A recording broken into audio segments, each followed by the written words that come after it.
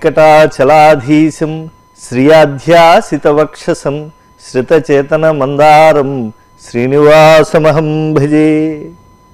సమస్త దేవతలను ఆశ్రిత మానవులను ఇతర జీవకోట్లను ఎప్పుడూ పరిరక్షిస్తూ ఉండేటువంటి వాడు శ్రీ వెంకటేశ్వర స్వామి.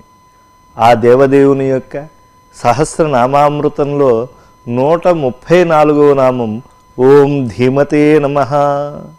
ధీమాన్ అంటే బుద్ధిమంతుడు అని అర్థం. ఈయన్ని ధీమాన్ అని చెప్పి ఎందుకు కీర్తిస్తున్నారు? సమస్త జీవులకు కూడా బుద్ధి అనేటువంటిది అనుగ్రహించేవాడే ఆయన కదా. ఆయన బుద్ధిమంతుడు అని కీర్తించడంలో ఉద్దేశ్యం ఏమిటి అని అంటే ఆయన తనను ఆశ్రయించినటువంటి వాళ్ళకి పరిరక్షించేటువంటి ఒక బుద్ధిని ప్రసాదిస్తాడు. అంటే నదేవాహ దండమాదాయ రక్షంతి పశుపాలవత్ ఎమ్మి రక్షితుమిచ్చంతి బుద్ధ్యా సంయోజయంతితం. మామూలుగా గొర్రెల్ని కాసేటువంటి వాడు మంచి పచ్చగడ్డి ఉంటుంది అని చెప్పి కొండ ప్రాంతానికి తీసుకెళ్తాడు. ఈ గొర్రెలు సాధారణంగా ఒకదాని వెనకాల ఒకటి వెళ్ళిపోతూ ఉంటాయి. ముందుది వెళ్ళింది నేను వెడతానని. పొరపాటున కనుక కొండ అంచులకు వెళ్ళి ఒక గొర్రె కనుక లోయలో పడిపోతే మిగతా గొర్రెలు కూడా వెళ్ళి పడిపోతూ ఉంటారు. అందుకే గొర్రె దాట్లలో వెళ్తున్నారా వీళ్ళు అంటూ ఉంటారు. అంటే ఒక గొర్రె వెళ్ళింది అంటే తర్వాత గొర్రెలు అలా వెళ్ళి పడిపోతూ ఉంటాయి మూర్ఖంగా. అందుకని వాటినే జీవనాధారంగా కలిగినటువంటి పశుపాలకుడు ఏం చేస్తాడు? ఓ దండాన్ని పెట్టుకుని ఎప్పుడూ కూడా ఓ దెబ్బేస్తూ వాటిని తన రెప్ప కూడా పడకుండా జాగ్రత్తగా కాపాడుతూ ఉంటాడు. అలా ఈ యొక్క జీవకోట్లని స్వామి కాపాడుతున్నాడు అని అనుకోకూడదు. ఎందుకంటే ఆయన రక్షించేటువంటి ఆ జీవకోట్లన్నిటికీ కూడా కొంత బుద్ధిని ప్రసాదిస్తూ ఉన్నాడు. అయితే ఎవరైతే ఈ మానవులు ఉన్నారో వాళ్ళు భౌతికమైనటువంటి దాన్నే చాలా బుద్ధి అని అనుకుంటారు. నిజానికి సా శిక్ష యా విముక్తయే. అసలు మళ్ళా జన్మ అనేటువంటిది లేకుండా శాశ్వతమైనటువంటి పునరావృత్తి రహితమైనటువంటి మోక్షం అనేటి దాన్ని పొందాలి అని అంటే సద్బుద్ధి అనేటువంటిది కావాలి. కాబట్టి అటువంటి దాన్ని ప్రసాదించగలిగినటువంటి వాడు కనుక ఆయన్ని ఓం ధీమతే నమ. ఆయన ఎవరినన్నా రక్షించాలంటే ఏం చేస్తాడు? సద్బుద్ధిని ఇస్తాడు. ఈ సంసారంలో ఉండేటువంటి ఈ కామక్రోధాదులనేటువంటి సుడిగుండాల్లో మునిగిపోకుండా ఈ సంసార జలధిలో ఆయన కాపాడుతూ ఉంటాడు. అందుకే అన్నారు ఆ పశుపాలకుల్లా కాపాడేటువంటి వాడు కాదు పరమాత్మ ఎంహి రక్షితుమిచ్చంతి బుద్ధ్యా సంయోజయంతితం. ఎవరిని రక్షించాలనుకుంటున్నాడో వాళ్ళకి మంచి సద్బుద్ధిని కలిగిస్తాడు. అందుకే ఓ ప్రహ్లాదుడు ఆ సద్బుద్ధి చేత నారాయణ మంత్రము చేత ఆయన తరించాడు. ఆయనే నారదుణ్ణి ప్రేరేపించాడు. ఆయనే నారదోపదేశం చేయించాడు ప్రహ్లాదుని రక్షించాడు. అలాగే ఇతర మంత్రములు ధ్రువాదులు పట్టుకున్నారు. వాళ్ళని స్వామి నారదాదుల చేత రక్షించాడు. లేదా తానే ఒక రూపములో వచ్చి వాళ్ళకి జ్ఞానబోధ చేసి వాళ్ళని ఈ సంసారం అనేటువంటి అగాధంలో పడకుండా పరిరక్షిస్తూ ఉంటాడు. దానికి అనుగుణమైనటువంటి బుద్ధిని ఆయనే కల్పిస్తూ ఉంటాడు. అందుకే లోకంలో ఎవరైనా మంచి కార్యములు చేస్తూ ఉన్నారు. ధర్మసత్రములు ఏర్పాటు చేస్తూ ఉన్నారు. నిత్యాన్నదానం చేస్తూ ఉన్నారు. కొంతమంది నిరతాన్నదానం చేస్తూ ఉంటారు. నిత్యాన్నదానం అంటే ప్రతిరోజు ఏదో ఒక సమయానికి నిర్దిష్టంగా అన్నదానం చేయటాన్ని నిత్యాన్నదానం అంటారు. నిరతాన్నదానము అని అంటే ఇరవై నాలుగు గంటల్లో జీవుడికి ఎప్పుడైనా ఆకలి వేయచ్చు. దూర ప్రాంతాల నుంచి వచ్చిన వాడు ఎప్పటి నుంచో రెండు మూడు రోజుల నుంచి ఆహారం లేకుండా వస్తే వాడికి ఆకలి వేస్తే వాడు కాలాన్ని కూడా పట్టించుకోకుండా అన్నగత ప్రాణి అయినటువంటి వాడు ఆహారం కావాలి అని అనుకుంటాడు. అప్పుడు నిరతాన్నదానం చేయాలి అని అనిపిస్తుంది కొంతమందికి. ఇలాంటి బుద్ధిని సద్బుద్ధిని అనుగ్రహించి జీవకోట్లకి కరావలంబం ఇచ్చేటువంటి వాడు ఆ శ్రీనివాస స్వామియే. కనుక ఓం ధీమతే నమ అని ఆయన్ని ఆశ్రయిస్తే ఆయన మనం జీవన వ్యాపారంలో ఎలా సంచరించాలి ఎలా భగవద్ అనుగ్రహాన్ని సంపూర్ణంగా పొందాలి ఆ భగవద్ అనుగ్రహం పొందిన తరువాత ఎంతటి తాదాత్మ్యతతో ఉంటాము ఎంతటి ఉన్నతోన్నత స్థితికి మనం చేరుకుంటాము అనేటువంటిది అనుభవంలోకి వచ్చేట్టు చేస్తున్నాడు కనుక అలా వచ్చేట్టు చేసేటువంటి పరమాత్మని మనం విడిపడకుండా ప్రార్థించాలి అంటే ఈ నూట ముప్పై నాలుగవ నామమైనటువంటి ఓం ధీమతే నమ అనేటువంటి నామాన్ని బాగా పట్టుకోవాలి. శ్రీ వెంకటేశ్వర స్వామి వారి యొక్క సహస్రనామావళిలో నూట ముప్పై ఐదవ నామం ఓం భక్త సంఘ ప్రతిష్ఠితాయ నమ. ఆయన లోకంలో ఎప్పుడూ ప్రతిష్ఠితుడే. కానీ భక్త సంఘము చేత ప్రతిష్ఠింపబడేటువంటి వాడు అనేటువంటి నామాన్ని పొందాడు ఆయన. అంటే ఎందుకని అని అంటే లోకంలో ఆయన పక్షంలో ఎవరైనా కూడా గొప్పగా చెప్తూ ఉంటే ఆయన తుష్టి పొందుతూ ఉంటాడు. అందుకే ఆయనగా ఆయన ధర్మరాజుకి భీష్ముని యొక్క గొప్పతనాన్ని చెప్పాడు తప్పించి విష్ణు సహస్రనామాలని ఆయన చెప్పలేదు. భీష్ముని చేత చెప్పించాడు ఆపఘాతనూజుడైనటువంటి ఆ యొక్క భీష్మాచార్యులు వారు అంపశయ్య మీద ఉండి చక్కగా శ్రీ విష్ణుదేవుని యొక్క సహస్రనామావళిని చెప్పాడు. దానివల్ల ధర్మరాజాదులు ఆ తర్వాత పొందిన ఎందరో మహర్షులు ఆ యొక్క సహస్రనామావళి ద్వారా ఆనందాన్ని పొందారు. అలాగే కలియుగ ప్రత్యక్ష వరదుడైన వెంకటేశ్వర స్వామి యొక్క గొప్పదనాన్నంతా కూడా తాళ్ళపాక అన్నమాచార్యులు వారు వేణోళ్ళ కొనియాడాడు. ఆయన శృంగార భావాల్ని చాటి చెప్పాడు అధ్యాత్మ భావాన్ని చెప్పాడు. యోగ భూమికల్లో వసిస్తూ శ్రీ వెంకటేశ్వర స్వామి యొక్క సారస్వత ఆరాధనం ఆయన చేశాడు. దానివల్ల వెంకటేశ్వర స్వామి వారి యొక్క కీర్తి దశ దిశలా వ్యాపించింది. అంటే ఆయన భక్తులకి అలాంటి అనుగ్రహాన్ని ఇచ్చేటువంటి వాడు. అందువల్ల ఆయన భక్త సంఘ ప్రతిష్ఠిత ఆయన దానివల్ల ఆయన సంతోషిస్తూ ఉంటాడు. నా భక్తుల చేత నేను ప్రతిష్ట పొందాలి అని చెప్పి. ఒకప్పుడు తాళ్ళపాక అన్నమాచార్యులు వారు ఆలయంలోకి వెళ్ళేటప్పటికి నివేదన సమయం అయిపోయింది. నివేదన సమయం అయిపోయేప్పుడే అర్చకులు గోప్యంగా తిరునివేదనం చేయాలి కనుక ఆలయ మర్యాదను పాటిస్తూ యవనికిని వేశారు. ఆ తెర దూరం అవ్వాలని చెప్పి వెంటనే స్వామిని దర్శించాలి అనేటువంటి కోరికతో వెంటనే ఆయన నేను నీ ముందున్నాను స్వామి నీ భక్తితో నీ యొక్క గొప్పతనాన్నంతా కూడా నేను అనవరతము చాటుతూ ఉన్నాను. అటువంటి నాకు నువ్వు దర్శనాన్ని ఇవ్వవా? కాలపరిమితి అనేటువంటి దాన్ని ఏర్పాటు చేస్తావా?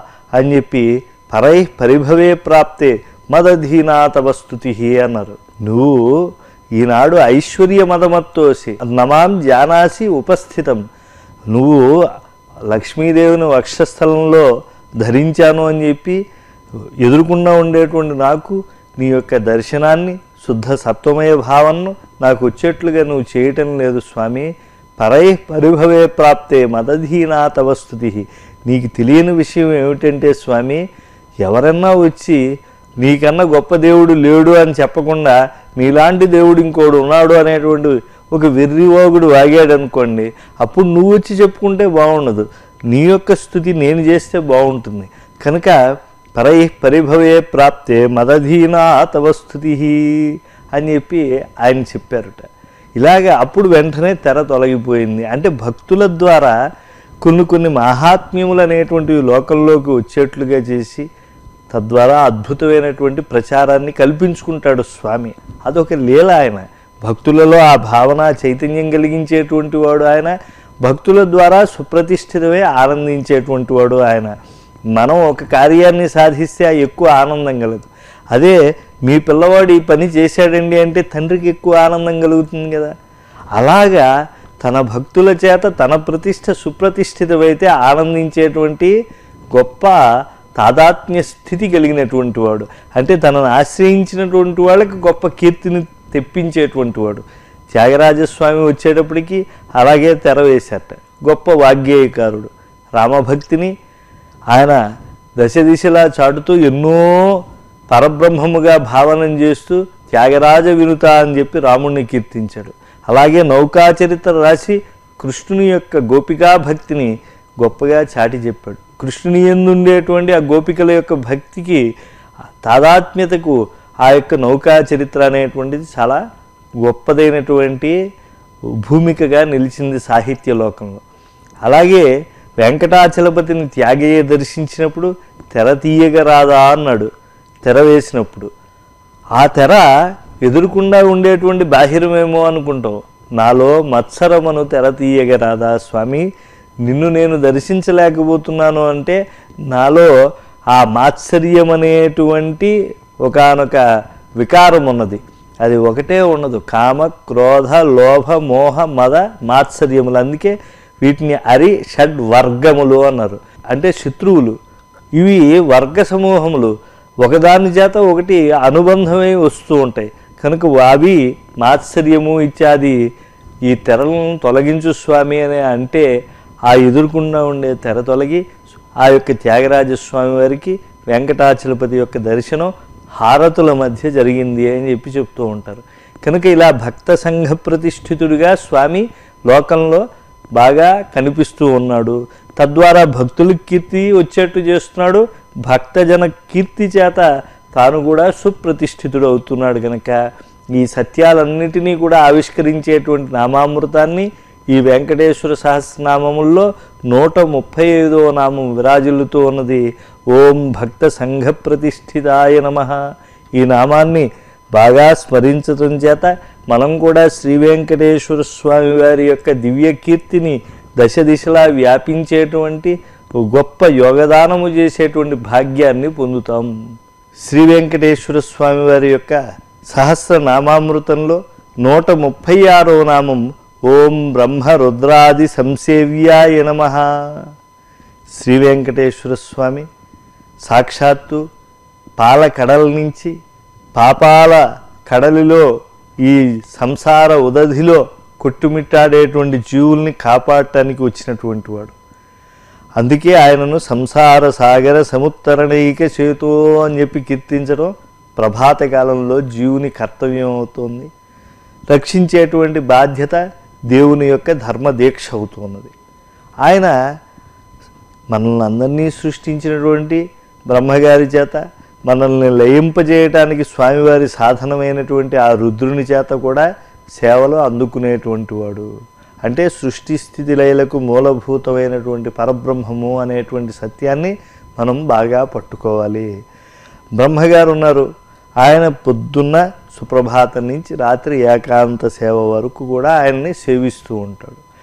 ఆయన క్షేత్రానికి పాలకుడు రుద్రుడు. ఈ రుద్రుడు కేవలం క్షేత్రానికి వచ్చేటువంటి వినాశకరమైనటువంటి శక్తులను శిక్షించేటువంటి వాడనే కాదు. అనేక మంది జీవులలో ఉండేటువంటి అజ్ఞానాన్ని కూడా క్షేమింపజేసి వారికి వెంకటేశ్వర స్వామి ఆ యొక్క శ్రీ మహావిష్ణువు యొక్క జ్ఞానాన్ని కూడా అనుగ్రహింపజేసేటువంటి వాడు. స్కందుడు బ్రహ్మహత్య దోషాన్ని మూటగట్టుకుని తండ్రి దగ్గరకు వస్తే నాయనా ఈ వెంకటాచల మాహాత్మ్యాన్ని తెలుసుకో అందులో ఉండేటువంటి ఈ యొక్క పుష్కరిణి యొక్క మాహాత్మ్యాన్ని తెలుసుకో అని చెప్పి స్కంద పుష్కరిణిగా తరువాత ఆ యొక్క పుష్కరిణికి కీర్తి వచ్చేట్లుగా చేశాడు. నిజానికి ఆ బ్రహ్మహత్య దోషాన్ని తొలగించుకోవటానికి స్కందుడు బాహిరమైనటువంటి స్నానాన్ని చేయలేదు. మనోమలాన్ని పోగొట్టుకోవటానికి వెంకటేశ్వర స్వామి భక్తి జలధిలో ఆయన ములిగాడు అంటే భక్తి అనేటువంటి పుష్కరిణిలో ములిగాడు ఒక భావ పుష్కరిణిగా ఒక భక్తి భావన సంభరిత పుష్కరిణిగా మారిపోయాడు. అలాంటి స్కంద పుష్కరిణిని ఏర్పడేట్లుగా చేసినటువంటి వాడు రుద్రుడు క్షేత్ర పాలకుడు. అంటే ఆశ్రయించినటువంటి శ్రీనివాస భక్తులకు గొప్ప జ్ఞానాన్ని ప్రసాదించాడు రుద్రుడు. కనుక గొప్ప ఉత్సవాలు చేసి ఆనందాన్ని కలిగేటి చేసేటువంటి వాడు బ్రహ్మగారైతే ఆశ్రిత భక్తులకు గొప్ప శ్రీనివాస జ్ఞానాన్ని బోధించేటువంటి వాడు రుద్రుడు. అందుకే ఉమామహేశ్వర సంవాదము అని చెప్పి ఈ యొక్క భవిష్యోత్తర పురాణంలో పద్నాలుగు స్కందాల గ్రంథం అయిపోయాక ఎనభై నాలుగవ అధ్యాయం ఉంటుంది. పద్నాలుగు అధ్యాయాల ఆ యొక్క భవిష్యోత్తర పురాణం అనేటువంటి వెంకటాచల మహాత్మ్య ఖండంలో ఆ యొక్క ఎనభైవ అధ్యాయం అంతా కూడా ఉమామహేశ్వరుల సంవాదాత్మకంగా గొప్పదైనటువంటి శ్రీ వెంకటేశ్వర స్వామి వారి యొక్క శక్తి అంతా కూడా అభివర్ణింపబడింది. కనుక ఈ విధముగా బ్రహ్మరుద్రాదుల చేత సేవను అందుకుంటున్నాడు. సేవించటం అని అంటే కేవలం బాహిరంగా ఆయనకి హారతులు పట్టడం కొబ్బరికాయలు కొట్టడం ఇదే కాదు. బ్రహ్మగారు ఆ యొక్క ఉపచారాలన్నింటినీ స్వామివారికి జరిగేటువంటి వాటిని పర్యవేక్షిస్తూ అర్చకముఖంగా వైఖానస భగవత్ శాస్త్రోక్తంగా జరిగేట్లుగా చూస్తూ ఉంటాడు. తాను ముందుగా బ్రహ్మోత్సవాలు జరిగిన శూన్యరథంలో పెడుతూ ఉంటాడు. పొద్దున్నే బ్రహ్మతీర్థము నుంచి భాగవతులందరూ తరించేట్లుగా రాత్రి ఏకాంత సేవ వరకు ఆయన ప్రత్యక్ష పర్యవేక్షణం చేస్తూ ఉంటాడు. ఇక రుద్రుడు క్షేత్రపాలకు గుండుగా ఉండి ఆ క్షేత్రమునకు ఎటువంటి దుష్టశక్తుల యొక్క బాధ రాకుండా చేసి దుష్టశక్తుల చేత బాధింపబడేటువంటి వారు ఇదిగో ఈ అద్రిని ఆశ్రయిస్తే వారు పరతత్వమైనటువంటి శ్రీనివాసుని అనుగ్రహించేత తరిస్తారు అనేటువంటి బోధను ఆయన చేస్తూ ఉంటారు. అందుకే ఉమాదేవి అడిగినటువంటి ప్రశ్నలకన్నింటికి శివుడు ఆ రుద్రరూపుడు గొప్పదైనటువంటి శ్రీనివాసుని యొక్క మహాత్మ్యాన్నంతా కూడా చెప్పాడు. ఎవరైతే శ్రీనివాస మహాత్మ్యాన్ని తెలుసుకోవాలనుకుంటారో వారందరికీ రుద్రబోధ ఏదైతే ఉన్నదో ఆ యొక్క వెంకటాచల మహాత్మ్య ఖండం భవిష్యోత్తర పురాణం ఎనభైవ అధ్యాయంలో గొప్ప వెలుగు దీపంగా అది మనకు కనిపిస్తూ ఉంటుంది. కనుక అటువంటి గొప్ప వెలుగు దీపమైనటువంటి భవిష్యోత్తర పురాణంలో ఎనభైవ అధ్యాయంలో ఉండేటువంటి జ్ఞానఖండం ఉమామహేశ్వర సంవాదాత్మకం మనకి మనస్సులో పదిలంగా ఉంటే ఆ స్వామి ఎంత సేవనీయుడో మనకు తెలుస్తుంది. కనుక ఓం బ్రహ్మ రుద్ర సంస్థూయమానుడు అని చెప్పి ఆ స్వామిని మనం చెప్పుకుంటున్నాం ఈ నూట ముప్పై ఆరో నామంలో. దానివల్ల మనకి గొప్ప సేవాభావం అనేటువంటిది మనలో ఈరికలెత్తుతుంది. కనుక మనం ఈ నూట ముప్పై ఆరో నామమైన ఓం బ్రహ్మ రుద్రాది సంసేవ్యాయ నమ అనేటువంటి నామాన్ని పట్టుకుందాం. ఆ నామదీక్ష ద్వారా స్వామివారి ఔపచారికమైనటువంటి రహస్యాలని తెలుసుకుందాం. ఆ స్వామి క్షేత్రావతంసాన్ని ఆశ్రయిస్తే ఎటువంటి దోషాలు తొలగిపోతాయో ఎటువంటి సంరక్షణ మనకి ఏర్పడుతుందో ఈ నామము ద్వారా మనం తెలుసుకోవచ్చు. ఓం నమో వెంకటేశాయ. Thank you.